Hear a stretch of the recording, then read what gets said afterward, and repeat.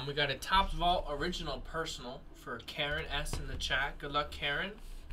Remember, it is your last day to get Topps Vault and the Topps On Demand set at uh, the special World Series slash postseason price that they are at now. Oh, today's it? Well, it's the end of the World Series and postseason. Oh. Well, you usually get like a one day grace period, no? Uh, Maybe I'll give them till 3 p.m. tomorrow. All right. Good luck, Karen. There's the top seal. There's the top of the hat. It is Vinny Castilla. Yeah, Vinny Castilla. Colorado Rockies. That is 76 out of 99.